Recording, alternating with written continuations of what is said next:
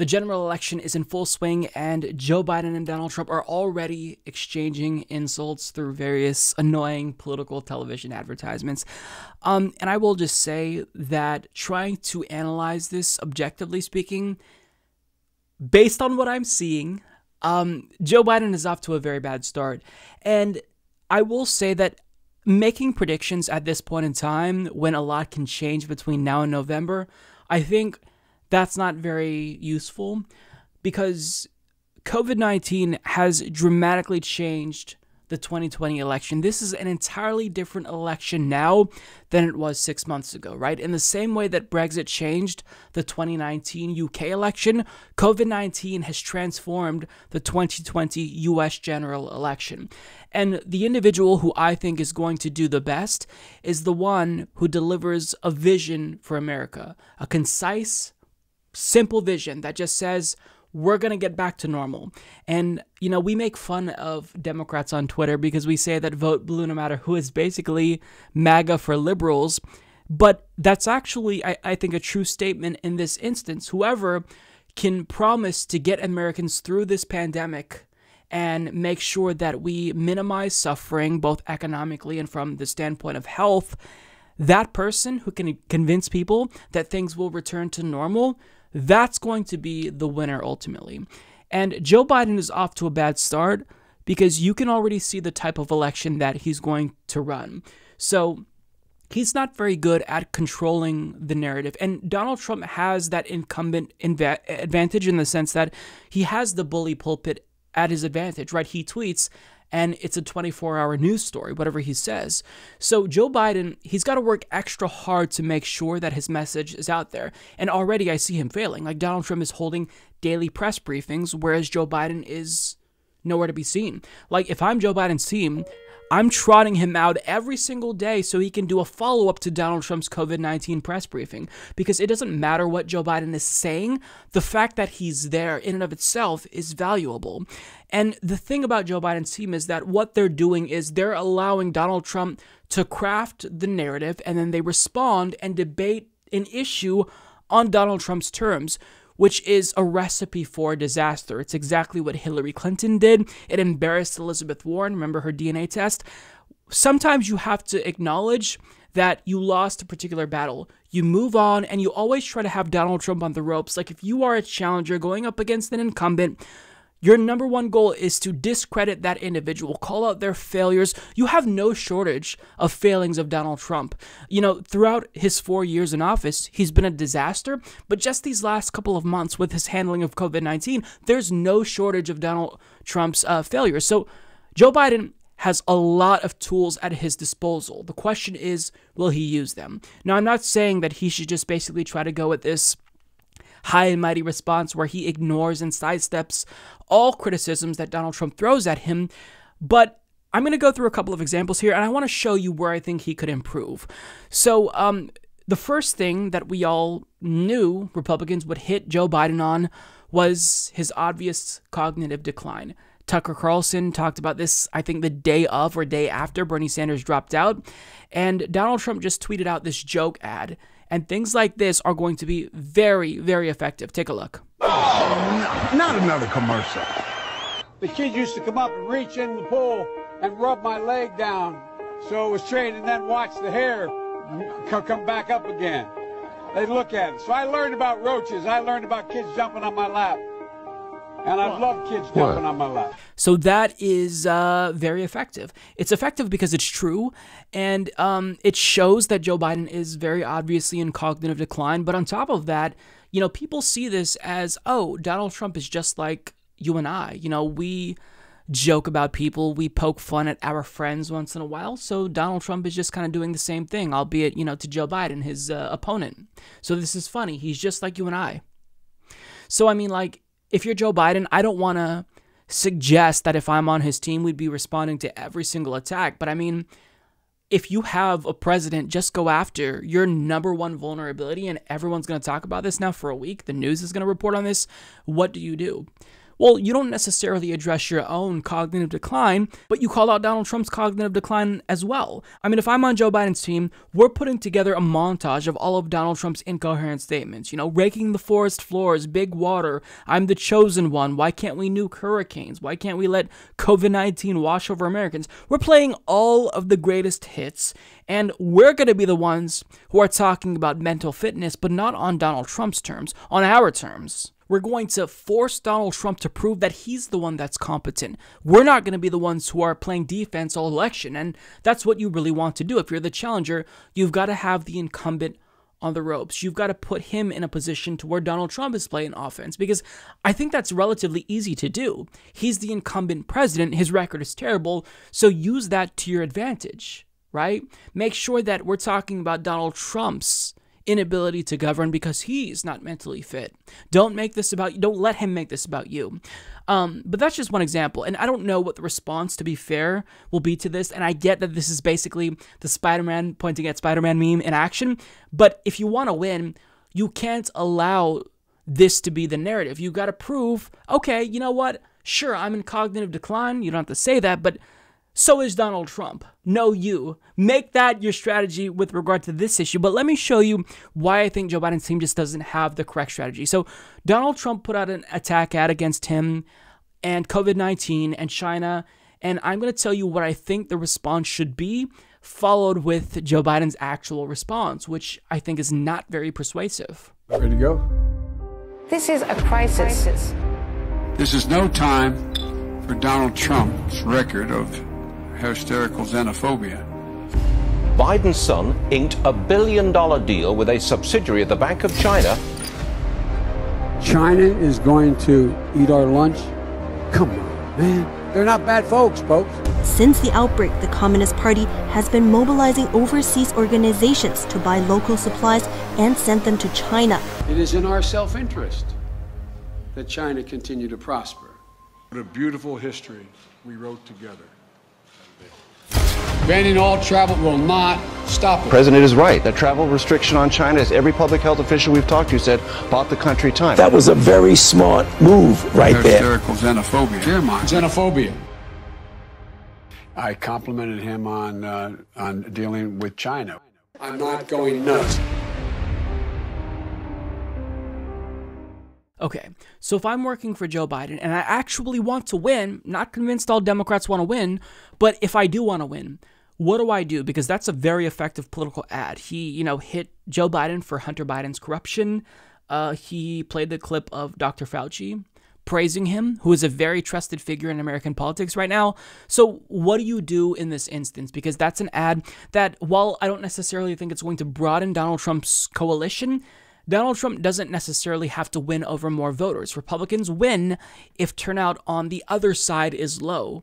So, the thing that Joe Biden has to do in response to this is he can't just be reactive, he has to be proactive. Now, what do I mean by that? So, obviously, we attack Donald Trump back. We hit him for his numerous failings. We call out the fact that he asked his own advisors why we can't just let COVID 19 wash over Americans, which would kill them. We call out the fact that he failed to take action. Um, I think that's important. But you have to make the attack and then you move on quickly. You tell people exactly what you're going to do very simply to get their lives back to what it was before COVID 19. Basically, every other issue has been brushed aside. You know, healthcare, education. People right now are most affected by COVID 19. And whoever is going to win this election, I think, will be able to prove that they're better off post pandemic with that individual. So if I'm Joe Biden, I'm saying these are all of Donald Trump's failings, but here's where we're going to turn things around. I'm going to make sure that you're protected from COVID 19, but on top of that, we're going to protect you economically speaking. So I gave Nancy Pelosi legislation that I want her to pass in the House, and if you deliver me a Democratic Senate, if you deliver us the White House on day number one, I'm signing that into law. And here's what that includes extended universal basic income of $2,000 every single month for the duration of this pandemic. On top of that, what we're going to do is extend unemployment benefits. We're going to expand our social safety net. We're going to spend in the economy. And we know that a lot of these jobs that are lost currently, they're not coming back. So we're going to have a federal jobs program that puts Americans back to work. So that way, if you lost your job specifically during this pandemic, you are going to have the benefit of uh, getting a job from the government until you can find something back in the private sector, if that's what you prefer. But we're going to make sure that coming out of COVID 19 and this pandemic, you're as good, if not better off than you were before going into it. Because certainly before this pandemic, things weren't peachy keen in America. But I'm going to make sure that we don't do worse off. Like, that's the message. You simplify that as much as you can, wrap it in a nice little package, and you make Americans know that you're the person who is going to save them from this pandemic. And again, looking back to the 2019 election in the UK, part of the reason why Jeremy Corbyn lost to Boris Johnson is because Boris Johnson's message was simple get Brexit done. That's what people wanted. And, you know, the problem is that Jeremy Corbyn, he didn't really have strong messaging here. He tried to, you know, play both sides and ride the fence.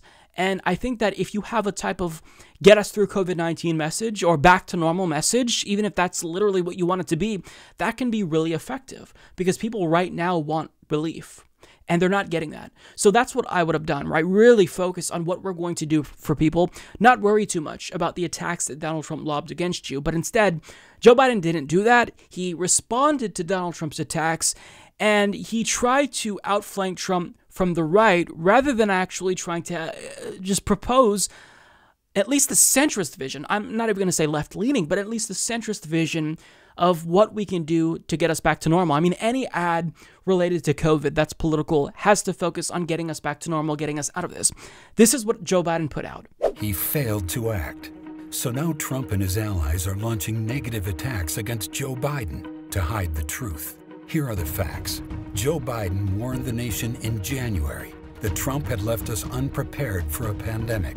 Then, Biden told Trump he should insist on having American health experts on the ground in China. I would be on the phone with China and making it clear we are going to need to be in your country. You have to be open. You have to be clear. We have to know what's going on. But Trump rolled over for the Chinese. He took their word for it. The president tweeted China has been working very hard to contain the coronavirus. The United States greatly appreciates their efforts and transparency. China, I spoke with President Xi, and they're working very, very hard, and I think it's going to all work out fine. Trump praised the Chinese 15 times in January and February as the coronavirus spread across the world. It's a tough situation. I think they're doing a very good job. Are you concerned about its potential impact on the global economy?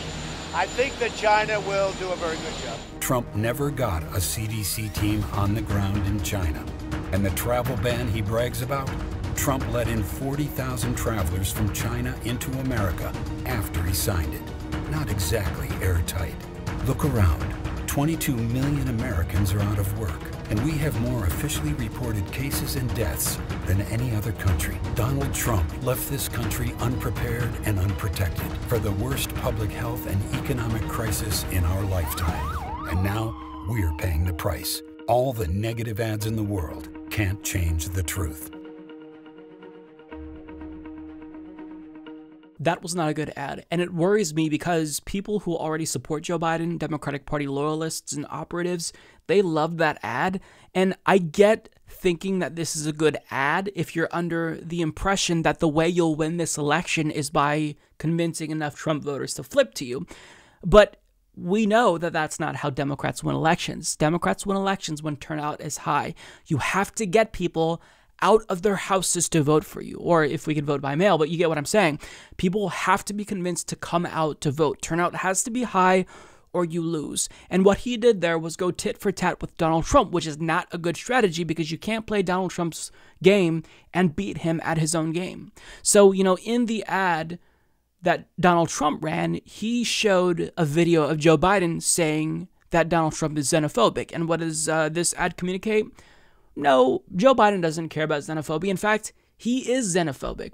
Now, rule number one in all of politics is, is you always have to hold your base.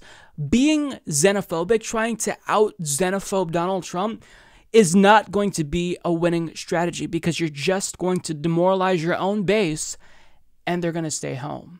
They're going to stay home. So if you're running an ad, if you're taking any time to hit Donald Trump or COVID 19, yes, you state where he failed. Joe Biden did that and moved on. But you have to tell people that you're going to save them from this pandemic. You can't just say, I would have been more xenophobic than Donald Trump. That does nothing to improve our lives at a very concrete level. And the fact that he doesn't get that, it's worrisome. Now again, I don't I don't want to say that, you know, I should be making predictions because a lot can change between now and November. And maybe Joe Biden doesn't take any of my advice. Maybe his strategy is the same as it is and he still wins. COVID shaked up this election. This is a very different game now. But with that being said, I think that he can improve his odds if he actually reads the room and acknowledges what's happening. Republicans just hit Nancy Pelosi with a really, really powerful ad. Trump's campaign manager hit her after she went on some late show and was boasting about all of the ice cream she stocked up on on her giant fridges and showed how out of touch she is because people are hurting. That messaging is exactly what Joe Biden should be doing. You should never be outflanked by a Republican from the left. And you should have learned this from 2016. You're never going to be perceived by the general electorate as being more right wing than Donald Trump. But what you can do is try to convince people that you are going to lead them through this crisis and that you are concerned with the needs of the American people and you're not just worried. You know exactly what those needs are because you are in constant contact with people. But what we're seeing so far, if this is any indication of the trajectory that Joe Biden will continue on, I don't think he's going to do well. I don't think he's going to do well. I think he'll lose. So he's got to change it. Now, again, I'm very reluctant to predict because I think that COVID 19 has changed the calculus here. But with that being said, is if people are going to make that change from Donald Trump to Joe Biden, it's not going to happen by flipping Trump voters. It's going to happen by getting them to come out and vote against the status quo, which is Donald Trump. They have to believe that you're going to improve their lives. And you do that by telling them how you're going to improve their lives and understanding their suffering. Right now, the future looks grim. The current situation is abysmal, but we can't necessarily see the light at the end of the tunnel for, you know, tomorrow, the day after tomorrow, next week, next month. People are really terrified right now. So what we need is leadership. And um, we're not getting that. I mean, Joe Biden's team is being very one dimensional in their approach to this, and I think it's going to backfire if they don't learn from all of the mistakes that Hillary Clinton made in 2016. Like, I think that they believe that it's important to go to Wisconsin, it's important to campaign in the Rust Belt and hold white working class voters, you know, suburbanites, the Karens of the world. But you're still not going to win unless people believe they're going to be better off with you than Donald Trump. Because if Joe Biden wins, that means people think that we have to change the direction of the country. Even if he said business is going to be the same as usual, people oftentimes vote for the incumbent, not necessarily because they like the incumbent, but because voters are risk averse, right? They don't like to take risks, and if they just stick with what they know, which is the person who's in charge, they usually feel safer with that. So you've got to convince them that this is not the safe option. It's actually the riskier option. And what I see so far is just it's like there's an iceberg dead ahead, and we're heading straight towards it on the uh, Joe Biden Democratic Titanic. And as we're headed towards that iceberg, you know, it's it's difficult to assess what's going to kill people on board first, the iceberg itself or the fact that there's already holes in the ship and it's going down. So I just I don't know. Um, but what I do know is that what I'm seeing from Joe Biden, working class Joe, is that he's painfully out of touch. And if he actually cares about beating Donald Trump, again, not convinced that he is, he's got to change it up. It's simple. This is not rocket science. It's very simple. Tell them their lives are going to be better off with you as president. You're going to get them through COVID 19, and you can win. If you don't do that, people are going to opt for the same thing. And maybe they vote for Donald Trump, or maybe they just stay home. But if you don't get them out to vote for you, you lose. Period. End of story. You could support the Humanist Report at patreon.com slash humanist report. But trust me, I'd have way more supporters on Patreon if that was my podcast. Sad.